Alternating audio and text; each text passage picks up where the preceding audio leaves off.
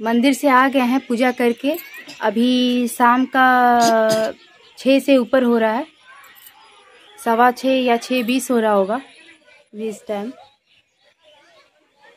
मंदिर से पूजा करके भी आ गए, राखी भी बाँध लिए। और इधर अपर्णा भी बैठी हुई है मेरे पास। कुछ देख रही है मोबाइल में।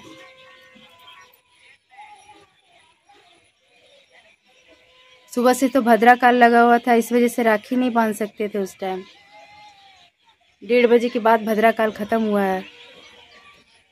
तो हर किसी ने डेढ़ बजे के बाद ही राखी बांधा है, हर जगह। आप लोग का आज का दिन कैसा रहा? कैसा है? और आज तक का दिन कैसा गया? ये सब बताइएगा कमेंट में।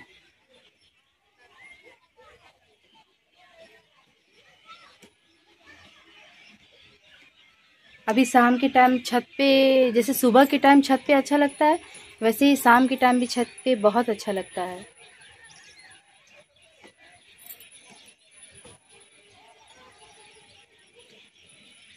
अभी आज आज सावन का सोमवारी का लास्ट दिन था, और आज सोमवार भी है तो आज तो फास्टिंग था।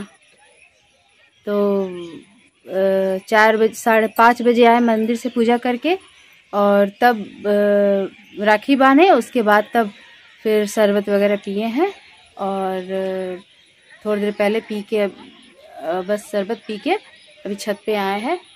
सोचे कि थोड़ा सा ब्लॉग ब्लॉग शूट कर लेते हैं। छोटा सा ब्लॉग है, कोई ज़्यादा बड़ा ब्लॉग नहीं बनाएँगे। कि बोरिंग लगे।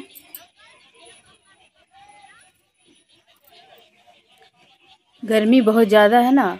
घर में छत पे हर जगह बाहर गर्मी ही लग रही है। जब बारिश नहीं होती है तो गर्मी पूरा हो जाता है। बारिश होगा तभी थोड़ा ठंडा लगेगा। अभी आसमान ऐसा दिख रहा है।